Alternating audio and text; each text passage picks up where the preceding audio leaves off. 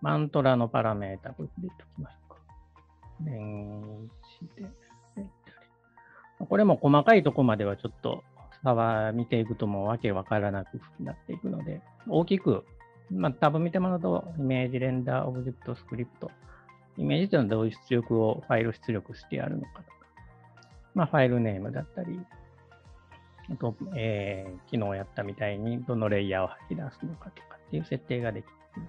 で、ファイルネームは、まあ、こいつはエクスプレッションがかかって、オリジナルのファイルネーム、これ、後でまた見ます。で、フリーの、えー、イメージのフォーマットは、拡張子をつけると自動的にそのフォーマットに、前 EXR ついてると EXR で吐き出されます。JPEG にすると JPEG でレンダリングされます。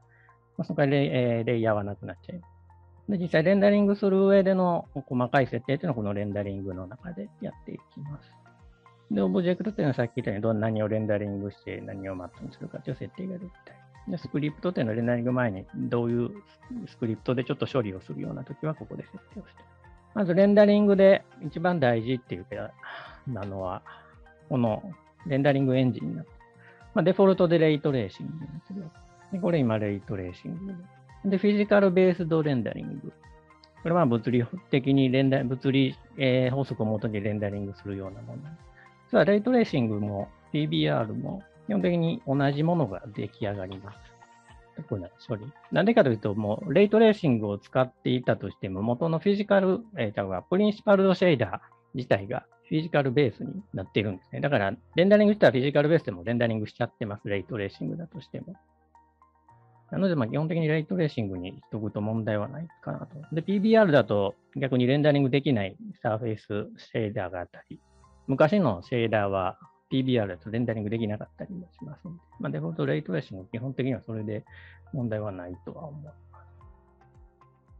で、もう一つマイクロポリゴンレンダリングっていうのは、これは昔のいわゆるスキャンラインレンダリングの時代の、えー、名残みたいな。わかり今、マイクロポリゴン、こいつがレイトレーシング。マイクロポリゴンだとかなり荒いんですね。この辺のノーマルだったり、ノイズも。その代わり処理は結構、レンダリング時間が早くなります。まあ、この A やと逆、そんな大して時間は変わらないんですけど、まあ、こういうふうにレイトレスに映り込みだったり影だったりがいっぱいある、レイトレスの処理が多いとマイクロポリゴンでもレイトレースでもあんまし変わないようになってくるので、シンプルな絵だとマイクロポリゴンの方が早く、断然レンダリングが早くなったりもします。なので、まあ、こういうリアルな絵であればもう普通にレイトレーシングを使ってれば問題ないとは思います。で当然、えー、よくあるレイトレーシングでレンダリングすると、やっぱりエリアシャドウとか使ってると出てくるのはこの、まあ、ノイズ問題ですね。でノイズを消す方法、まあ、いろいろあります。このまあ、マニュアルを見てもらうと、かなりこ、まあ、複雑、細かく書いてるんで、それをで勉強してもらうといいとは思うんですが、簡単に言うと、大きくピクセルサンプルと、あとはこのレイサンプルの2つで調整していきます。ピクセルサンプルというのは単純にオーバーサンプリングということで 3×3 のエリアをレンダリングして、要は 9, 9ピクセル分を1つのピクセルにまとめるみたいなことね。まあ、3, 3がデフォルトだとするとかなり、66とか上げるとかなり綺麗にはなっていきます。これが33で、これが6。まあ、それでも残ってるのは残ってます。まあ、細かいちらつきは減ってくるかな。当然、レンダリング時間、まあ、こいつが、元の33が5秒で、66が8秒。まあ、この時間なので、このぐらいの絵なんで、このぐらいの、えー、差で終わります。まあ、3×3 が9が66、36になってるんで、かなり処理自体は遅い。ただ全体にオーバーサンプリングでアンチ、えー、かけるんで、ノイズ以外にもこの、えー、エッジの部分のアンチエイリアスとか、ね、あとはモーションブラーだったりっていうのは、このピクセルサンプルでかなり変わってきます。だいぶ綺麗になると。ただ当然、どんどん、えー、レンダーの時間も伸びていくと。で、次に、えー、このマックスレイサンプル。これ何かというと、えー、そのピクセルに対して何本レイを飛ばして、光線を飛ばしてサンプリングするか。最大9で、どんだけ、えどのくらい9本飛ばすまでに、このノイズレベルに至ったらそこで終わるっていうことになるんですね。ノイズレベルっていうのは、まあ、隣の、例えばこのノイズの、このピクセルだと、隣とどんだけの差があるのか。まあ、差がなければないほど滑らかになるわけ。です。で、これを今9が9で、で例えばこれ16本にしましょうか。開けてやっても実は大して変わらないです。まあ、この辺がちょっと変わってる。肺の部分の、えー、ライトのノイズが若干収まっております。これはかなりこう、輝度の差があるからまたこの影の部分のノイズに関してはそんなに変わっていないと。これはなんでかというと、この9本レイを飛ばして滑らかにするのを16本にすることで、まあ、これ滑らかになって、この辺は暗い部分はそんなに変わってないんだけど、このノイズレベルが、こいつが0.01なんで、要は16回レイを飛ばす前に0.01に届いちゃってる状態になって。なので実際は9本以内に収まってたりすると、前の9本の時と変わらないっていう状態になる。で、こいつをだから、例えば05をちっちゃくしてやることで、この辺のノイズがかなり滑らかになってる。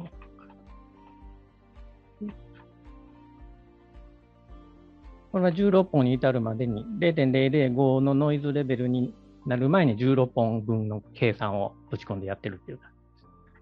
ただこれもなんか9にしとくと、元の9とはじゃちょっとぐらいはマシになったかな。だからまず、えー、サンプルのレベルをちょっと上げると。もう、それこそドカンと上げると綺麗になっていくんですが、どんどん上げれば上げるほど遅くなる。んで、えー、まあ、デフォルトで0.01になったとして、でまだちょっと影の部分の、えー、ノイズがなってるか、こいつさらに、0.1とかすると、かなり滑らかにはなると。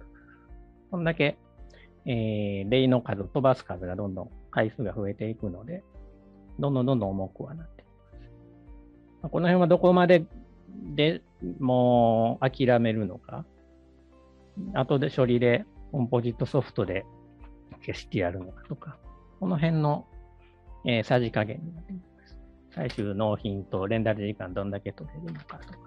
まあ、これで、まあ、元に戻して。で、その下で個別にちょっとクオリティを上げることができる。例えばリフレクションだけクオリティを上げてあげたいときは、まあ、リフレクションのクオリティだけ上げると、わかるかなと分かりにくいまあ、この辺の映りのノイズが入っているのが分かる。えっと、まあ、全体のノイズ、まあ、これはここ出てますけど、気にせずに影映り込みだけ。うん、これ映り込みはレンダリングかけてるからいいですね。で、まあ、映り込みに関してはこいつで設定してやったこともできる。これ、まあ、屈折とかしてたら refraction だったり、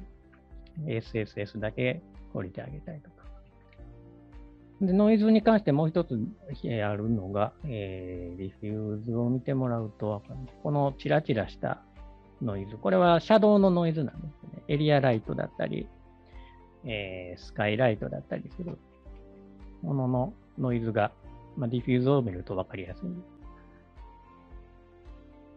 この辺のノイズは映り込みのノイズ、 reflection のノイズ。 diffuse をやると影のノイズが見えてきます。で、影の、えー、こういうエリアライトのノイズとかを消したいときは、ライト側に同じように、同じようにというか、サンプリングクオリティってなって、こいつを、まあ、サンライト、スカイライト両方上げてやると、まあ、綺麗になるんです。まあ、この辺のノイズは残ってますから、あとはどんだけこれもまあ、ライトのクオリティ、サンプリングクオリティを上げつつ、レンダラーの方のマックスサンプルを上げたりしながら、まあ、ええー、とこまでノイズを追い込んでいくっていう作業に最終的にはなっていくわけです。まあ、気持ちよくマトリックス、えー、マットリアルを作っていって、最終的にレンダリングするときにノイズをいかに抑えていくのかっていうのに時間をかけると。これがどうしてもマントラだと遅いんで、レッドシフトとかあっちの方に行っちゃうんですけど。まあ、賭けの場合は、ここのサンプリングクオリティを調整しましょう。で、あとはまあ、この辺はスカトニックトランスペアレンシの、まあ、透明な物体の時のあれやったりする。まあ、この辺は細かいとこはいじらない。まあ、リミットは反射回数だったり、で、もうこの後半はほぼいじらないです、デフォルトのまま。基本的にはこのリミットとサンプリングぐらいしかいじらないですね。まあ、大体のクオリティ制御的なものはこのサンプリングでできて、まあ、ライトだけはちょっとライトの方でやらないといけない実はジオメトリー単位にこのプロパティを上げたりもできるんですけど、標準のあれではないんで、今回は、えー、触らないです。で、ファイルネームに関してなんですが、まあ、イメージに戻りまして、よく使うのがこういうエクスプレッションで汎用性のあるファイルネームにすこ。れダラヒップスラッシュレンダー。これダラヒップでのファ、えー、ヒップファイルのある場所です。で、ヒップネームっていうのが自分自身のヒップネームで、このオペネームっていうのがオペレーションネームっていうことで全一がある。で、ヒップネーム、オペネームのダラ F4 の EXR。こうやって、えー、エクスプレッションを組んでおくと、えー、ファイルネーム、フォルダーにそのプロジェクトの名前のフォルダーができて、その中にそれぞれのレンダラーごとのフォルダーができて、さらに連番ができるっていうような、そういう形になるんですね。なので、この連1をこのままコピーしてやるだけで、こっちでレンダリングすると、連2のフォルダーに連番が入っていく。まあ、一度、エクスプレッション設定しておくと、全然気にせず、コピペしていくだけでファイルネームも自動的に更新されていくような、そういうエクスプレッションがあるわけで、でえー、アウトプット。ここもほぼいじることはないんです。一つだけ注意する必要があって、このアウトプットチェックポイントファイルっていうのがあって、これレンダリングするときにドットチェックポイントってファイルを作るんですね。で、レンダリングが終わったら削除されて、で、最初の EXR だけが残るみたいな。で、チェックポイントファイルがあると途中で止めた、えー、チェックポイントファイルを、まあ、リジュームすることで、レンダリングし直すことができるんです。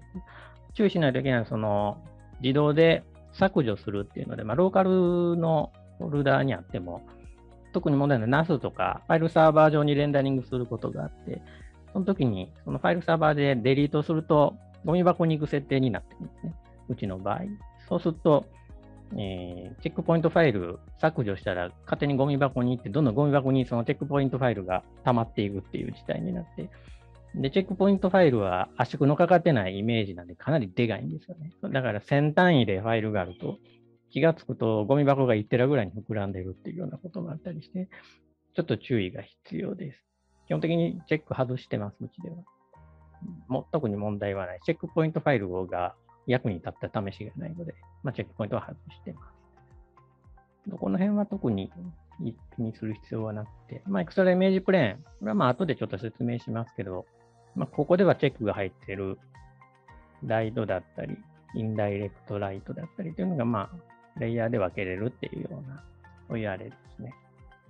で、 deep out は、まあ、フォグとかがあるときに、その奥行きを deep shadow map という形で出力できますので、最近入りのクリプトマットも使えます。あれかなり便利で、オブジェクトごとにマスクを作ったりっていうときに使うも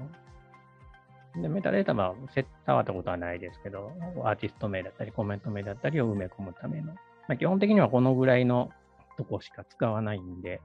あとは細かいとこは先ほどもちょっとマニュアルを見てくださいという話になります。